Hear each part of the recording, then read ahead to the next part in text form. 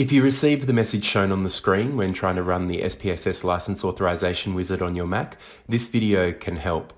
The error message says administrator privilege error. Warning, you do not have correct administrator privileges to license this product please log in as administrator, etc, etc. Now, we're assuming that you are logged into your Mac as administrator.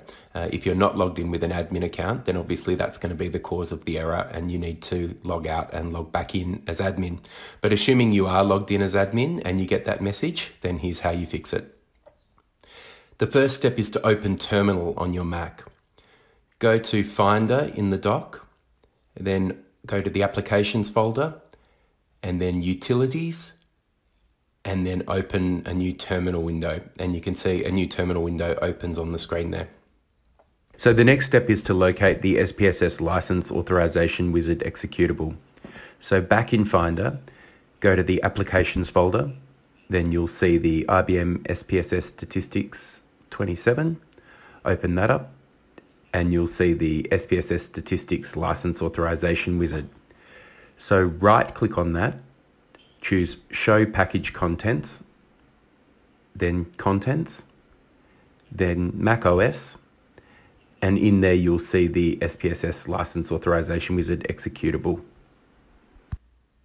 So now running the sudo command, in the terminal window type sudo space, then drag in the executable and press enter and it's asking for a password. Now this is the password for the Mac login account that you're logged into your computer with. Now nothing will appear to happen when you type your password, just type it and press enter. And once it's successfully entered then some text will come up on the terminal window and the license authorization wizard should launch.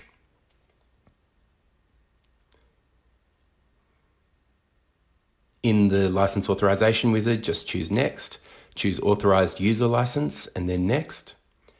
Enter your authorization code that you will have received in your email from Hearne Software and then press next and you should get a authorization succeeded green message.